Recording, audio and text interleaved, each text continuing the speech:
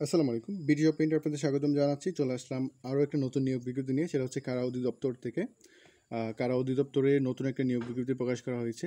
আজকে প্রকাশ করা হয়েছে, এখানে কারারক্ষী মহিলা কারারক্ষী পদে নিয়োগ করা হবে। তো বর্তমানে আছি কারা অধিদপ্তরের অফিসিয়াল ওয়েবসাইট আপনারা দেখতে পাচ্ছেন, আমরা এখন সার্কুলারটা ডাউনলোড করব। তো সার্কুলারটা ডাউনলোড করার জন্য আমরা নিচে চলে আসব। আসার পর দেখেন, সর্বশেষ হালনাগাদ ছাব্বিশ জুন দু হাজার তেইশ। এখানে দেখেন কারারক্ষী ও মহিলা কারারক্ষী পদে নিয়োগ বিজ্ঞপ্তি প্রকাশ করা হয়েছে। এখান থেকে আমরা সার্কুলারটা ডাউনলোড করব অ্যান্ড দেন আমরা কি করব? আমরা এটাকে ড্রাইভে নেব। ড্রাইভে নেওয়ার পর, এই যে দেখেন, এটা হচ্ছে কারারক্ষী পদের যেই নিয়োগ বিজ্ঞপ্তিটা সেটা, এটা হচ্ছে আপনার বিষয়। নিয়োগ বিজ্ঞপ্তি প্রকাশ করার জন্য যে নোটিশটা করা হয়েছে সেটা, আমরা এটা না পড়ে আমরা সরাসরি মূল নিয়োগ বিজ্ঞপ্তিতে চলে যাব। তো এটা হচ্ছে নিয়োগ বিজ্ঞপ্তি। আপনারা এখানে দেখেন তাদের অফিসিয়াল ওয়েবসাইটে দেওয়া আছে। এখানে দেখেন কি বলা আছে? কারা অধিদপ্তরের রাজস্ব কার্যভুক্ত নিম্ন বর্ণিত শূন্য পদে সরাসরি জনবল নিয়োগের নিমিত্তে পদের পাশে উল্লিখিত যোগ্যতা সম্পন্ন বাংলাদেশি নাগরিকদের নিকট হতে এখানে দরখাস্ত আহ্বান করা যাচ্ছে। এখানে কিছু কিছু জেলা আপনাদের বাদ দেওয়া হয়েছে। যে সকল জেলা থেকে আপনারা আবেদন করতে পারবেন, সেই জেলাগুলো উল্লেখ করা আছে। আমি আশা করছি ভিডিওটি যদি ধৈর্য সহকারে দেখেন, আশা করছি এখানে অনেক কিছু বুঝতে পারবেন যারা কারোর একটি পদে আবেদন করবেন। অনেকগুলো পদে এখানে নিয়োগ প্রকাশ করেছে। প্রথম দেখেন কারারক্ষী পদ, কারারক্ষী, এটা আপনার শততম গ্রেডের এখানে আপনার তিনশো পঞ্চান্নটি পদসংখ্যা রয়েছে। শিক্ষাগত যোগ্যতা হচ্ছে কোনো স্বীকৃত বোর্ড হতে মাধ্যমিক স্কুল সার্টিফিকেট বা সমমানের পরীক্ষায় আপনাদের উত্তীর্ণ হতে হবে, শুধুমাত্র পুরুষ প্রার্থীগণ এখানে আবেদন করতে পারবেন কারারক্ষী পদে। এখানে আপনার সর্বনিম্ন যেই শারীরিক যোগ্যতাটা দেখতে হবে, উচ্চতা হচ্ছে পা- এক দশমিক সাতষট্টি মিটার, বুকের মাপ হচ্ছে একাশি দশমিক আঠাশ সেন্টিমিটার, ওজন হচ্ছে বাহান্ন কেজি। বৈবাহিক অবস্থা অবশ্যই, প্রার্থীকে অবশ্যই অবিবাহিত হতে হবে। শুধুমাত্র মুক্তিযোদ্ধা সন্তানদের কাছে বিবাহিত শর্ত শিথিলযোগ্য।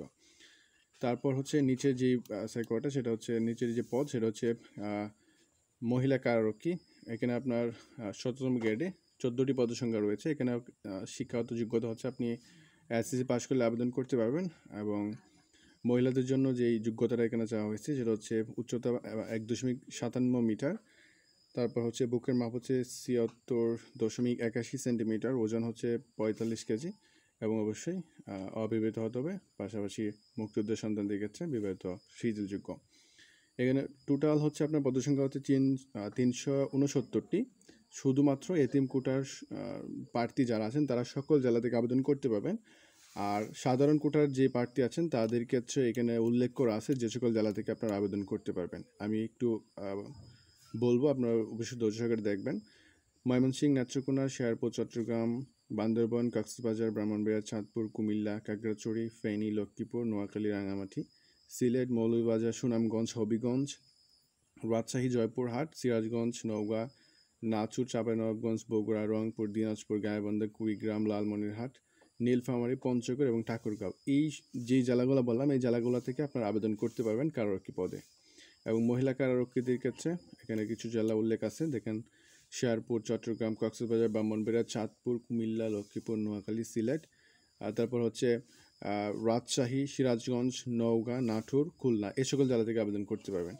তো আশা করছি পদের আলোচনাটা সম্পূর্ণ ক্লিয়ার হয়েছে। আবেদন কীভাবে করতে হবে সেটা এখন আমরা জানব।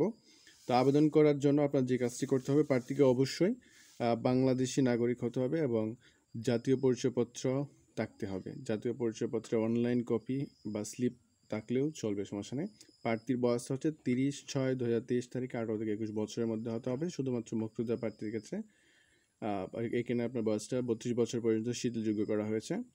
বয়সটা এখানে আপনাদের যেই নির্দেশনা দেওয়া হয়েছে বাইশ নয় দু হাজার বাইশ যেই সালের যেই নির্দেশনা, সে অনুযায়ী আপনার পঁচিশ মার্চ দু হাজার বিশ তারিখে যাদের বয়স একুশ বছর হয়েছে এবং মুক্তিযোদ্ধা প্রার্থীর ক্ষেত্রে যাদের বয়স বত্রিশ হয়েছে, তারা আবেদন করতে পারবেন।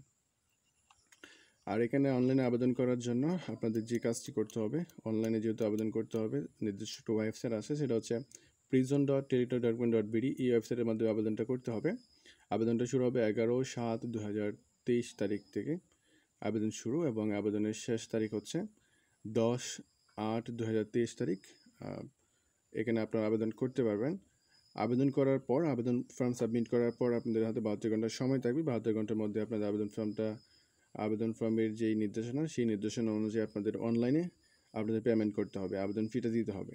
তো অনলাইনে আপনাদের আবেদন ফর্ম যখন পূরণ করবেন, তখন আপনাদের স্বাক্ষর দিতে হবে তিনশো গুণ আশি পিক্সেল এবং রঙিন ছবি দিতে হবে তিনশো গুণ তিনশো পিক্সেল এটা হচ্ছে চব্বিশ সাইজ সর্বোচ্চ একশো কেবি এবং স্বাক্ষর সাইজ সর্বোচ্চ ষাট কেবির মধ্যে হতে হবে। অনলাইনে আবেদন করার পর আপনার এস এম এর মাধ্যমে কীভাবে আবেদন ফিটা দিতে হবে এবং কত টাকা আবেদন ফি নির্ধারণ করা হয়েছে এখানে দেখেন। এখানে আপনার দুটো এস এম এস করতে হবে। দুটো এস এম এসের মাধ্যমে আবেদন ফি দিতে হবে আপনাদের। সেটা হচ্ছে একশো টাকা। আবেদন ফি এবং টেলিটক সার্ভিস চার্জ সহ আপনাদের একশো বারো টাকা বা দুই ঘণ্টার মধ্যে টেলিটক প্রিপেইড মোবাইল নাম্বারের মাধ্যমে দিতে হবে। এস এম এসটা কীভাবে করবেন? সেটা হচ্ছে প্রিজন ডট মেসেজ অপশানে যাবেন। টেলিটক প্রিপেইড মোবাইল নাম্বার দিয়ে আপনার মেসেজ অপশানে যাবেন। যাওয়ার পর প্রথম মেসেজে লিখবেন প্রিজন তারপর স্পেস সম্পূর্ণ ক্যাপিটাল লেটার লিখতে হবে। তারপর আপনাদের আবেদন ফর্মে যে ইউজার আইডিটা দেওয়া আছে সেটা দিবেন। দেওয়ার পর সেন্ড করে দেবেন ওয়ান সিক্স ট্রিপল নাম্বারে সেন্ড করে দিলে আপনাদের অ্যাপ্লিক্যান্ট নেম তারপর কত টাকা পে করতে হবে এবং সেগুলো আসবে। পাশাপাশি এখানে আপনাদের আট সংখ্যার একটা পিন নাম্বার আসবে। সেই পিন নাম্বারটা দিয়ে দ্বিতীয় এস আবার করতে হবে। সেমভাবে আবার আপনারা লিখবেন প্রিজন তারপর স্পেস ইএস লিখবেন, লেখার পর পিন নাম্বারটা দেবেন দেন দেওয়ার পর সেন্ড করে দেবেন one six triple two number send করে দিলে আপনাদের যেই যথেষ্ট পরিমাণ আবেদন ফিটা সেটা কেটে নিবে এবং আপনাদেরকে আবেদন ফিটা দেওয়া হয়ে যাবে, ঠিক আছে? তো কীভাবে আবেদন করতে হবে সেই নিয়ে আমি অবশ্যই একটা ভিডিও দেবো যদি আপনারা কমেন্ট করেন। তো এটা হচ্ছে কারারক্ষী পদের নতুন একটি নিয়োগ বিজ্ঞপ্তি। আশা করছি ভিডিওটা আপনার ভালো লেগেছে, ভালো লাগলে অবশ্যই লাইক দেবেন। এবং নতুন নতুন নিয়োগ বিজ্ঞপ্তি সম্বন্ধে জানতে অবশ্যই আমার চ্যানেলটি সাবস্ক্রাইব করে আমার সাথে থাকবেন। দেখা হচ্ছে নেক্সট কোনো ভিডিওতে সে পর্যন্ত সবাই ভালো থাকুন, সুস্থ থাকুন, আল্লাহ হাফেজ।